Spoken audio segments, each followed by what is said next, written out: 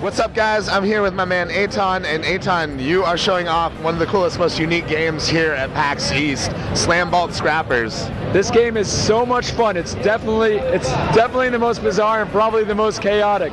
It's a mashup of brawling and building. It's kind of like equal parts Smash Brothers and World of Goo and Puzzle Fighter and Castle Crashers. We love it. Yeah, it's it's like you have created the most combative puzzle game I have ever seen here. It's hardly even a puzzle game. It's pretty much just a brawler. It's so much fun. So Slam Bolt Scrappers is a one to four multiplayer game.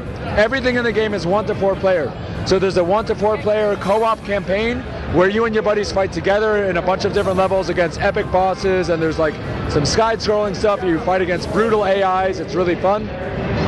And then there's also a one to four player battle mode, which is what you're seeing now behind me, which is kind of just you and your buddies jumping into a battle, brawling and just going crazy. It's so much fun. It kind of feels like the old school Mario Kart 64 or the old uh, like GoldenEye Smash Brothers sort of stuff. It's definitely got a classic vibe to it. Now, how long were you guys working on this, and like how'd you come up with the concept?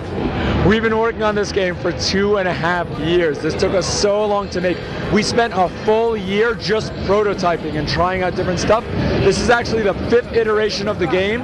One to four wasn't good enough, so we went and tried different things. We had an old version of the game where you were building with tangrams and these weird triangle shapes. And we even had one version of the game where you were superheroes trying to save a dam that was about to collapse and flood a small town. We're much happier with this, obviously, but you can see that like it was a really evolutionary process. It took us a long time.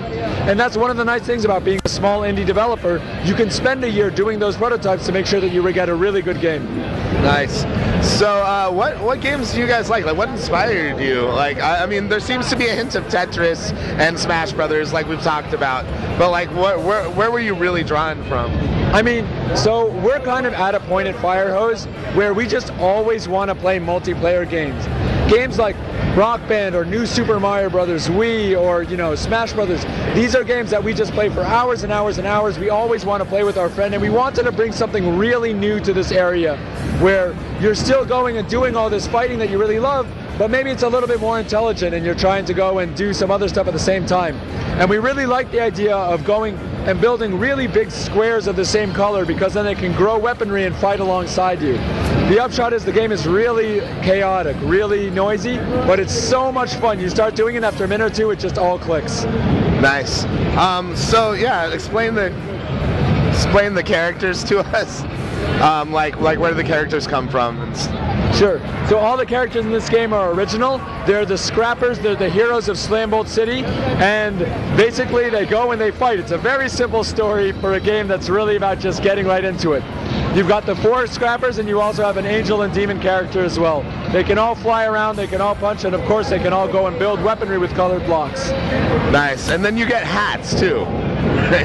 the hats are really cool. So a lot of times, I mean, almost always nowadays, games have achievements, they have trophies, and at least for us, those always feel really disconnected.